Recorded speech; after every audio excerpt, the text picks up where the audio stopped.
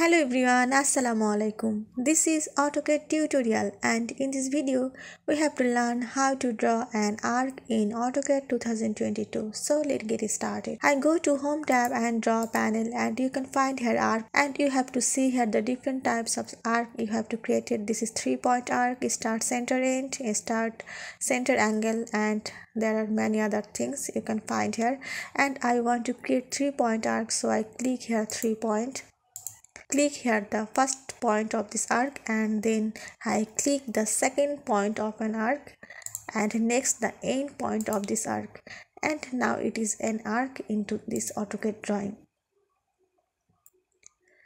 Now we have to type the command of arc ARC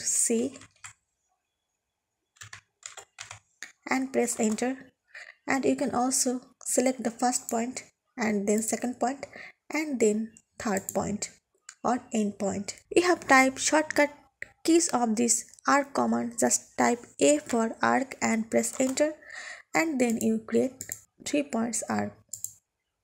You have also create this arc in clockwise or anti-clockwise. Just press A for arc and press enter.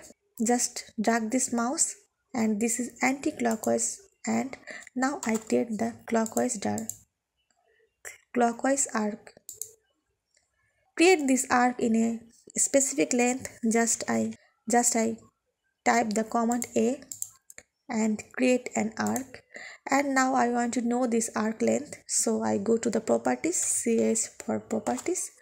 And you can select this arc. And you see here the arc length is 18.5837 and now I want to increase this arc length. So type the command len for lengthen and press enter.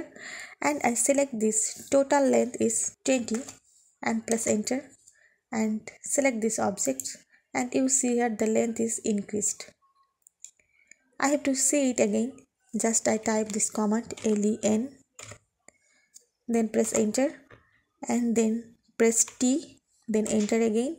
Then I type here 25 and press enter and select these objects and you see when I select these objects the length is automatically increased.